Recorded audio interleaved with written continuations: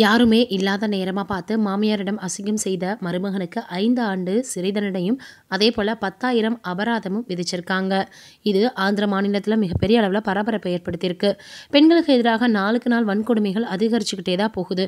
காமவெறி பிடித்த சிலர் உறவு முறைகளை மீறி பாலியல் கொடுமைகளை அரங்கேற்றி வந்துட்டுருக்காங்க. அந்த வரிசையில் தான் பாலியல் வன்கொடுமை செய்த மருமகனை நீதிமன்றம் சிறை தண்டனைக்கு ஆளாக்கியிருக்காங்க.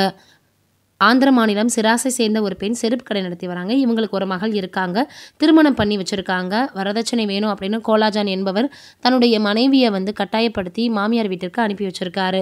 பிறகு வந்து பார்த்தோன்னா இவங்களுக்கு இரண்டு குழந்தைகள் இருக்கக்கூடிய நிலையில் திருமணம் நடந்த சில ஆண்டுகள் வாழ்க்கை நல்லா தான் போயிட்டு இருந்தது.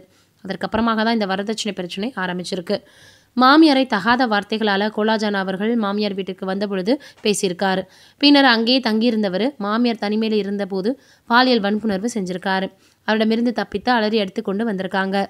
பின்னர் கணவருடன் சேர்ந்து தன்னை மானபங்கப்படுத்திய மருமகன் மீது சேலை காவல் நிலையத்தில் புகார் கொடுத்திருக்காங்க. புகாரை பெற்றுக்கொண்ட போலீசார் இது குறித்து விசாரணை நடத்தி வராங்க. நடத்தி வந்த நேரத்தில் தான் இது குறித்து போலீசார் நீதிமன்றத்தில் குற்றப்பத்திரிகை தாக்கல் செஞ்சாங்க. அவரின் மீது குற்றம் வந்து நிரூபிக்கப்பட்டதன் அடிப்படையில் தான் ஐந்தாண்டு சிறை தண்டனையும் பத்தாயிரம் அபராதமும் விதிச்சிருக்காங்க.